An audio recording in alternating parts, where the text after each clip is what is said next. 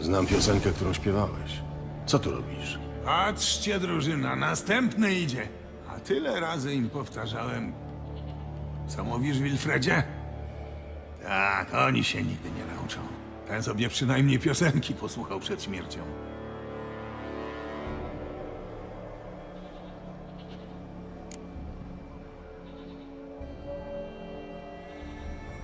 Kim byli ci ludzie? To moja drużyna. Przysięgali, że mnie nigdy nie opuszczą. I patrz, dotrzymali słowa. Ten wysoki to Wilmar. Obok niego po prawej Wilfred. A ten, co się tak jąka, to Wilhelm. Dlaczego ty i twoja drużyna zostaliście w tym miejscu? Nie możemy odejść. Gdybyśmy znowu spróbowali, gigant by nas wszystkich pozabijał. Tak jak innych.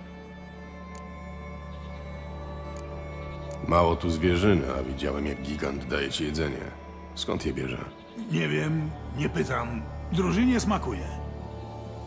Tam na ziemi leży ogryziona ręka. Co? Gdzie? Wilmar, kurwa, mać miałeś zadbać, żeby był porządek! Nie umiesz dochować żadnej tajemnicy. No, mieliśmy do wyboru albo to, albo umrzeć z głodu.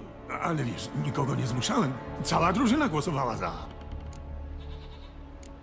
Czemu gigant cię oszczędził?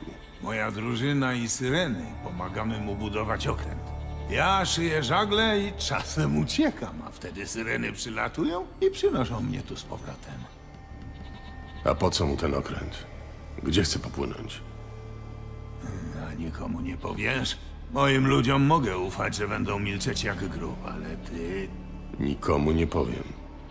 No dobrze. Gigant chce wypłynąć tą łajbą, żeby gromić bogów podczas Ragnarok. Ostatniej bitwy przed końcem świata. A statek jest już prawie gotowy. Szukam Hjalmara Ancreit. Podobno wybrał się tu z drużyną, żeby pokonać giganta. A tak, widziałem ich i Wilmar też. Jesteś pewien, że ci się nie przywidziało? Wilmar ma sokoli wzrok. Stali w tym samym miejscu, co ty teraz. Wszyscy wyglądali dość marnie. Rudy Leif, Folan, Wigi. Między nami mówiąc, ten chłopak ma trochę nie po kolei w głowie. No i młody Ancreit. Mówili dokąd pójdą? Mówili Wilmar? A tak, mieli rozbić obóz przy starej wieży strażniczej. Łatwo ją poznać, bo stoi pośrodku doliny i zupełnie niczego nie strzeże. Spróbuję wrócić po ciebie, kiedy już znajdę Hjalmara. Taki jesteś pewny, że go znajdziesz?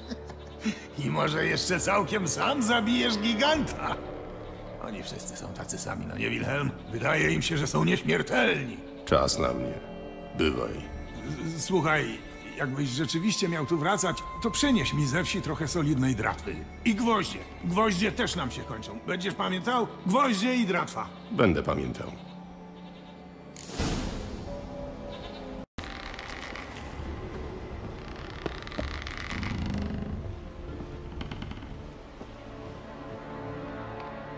Patrzcie, drużyna. Białowłosy wrócił.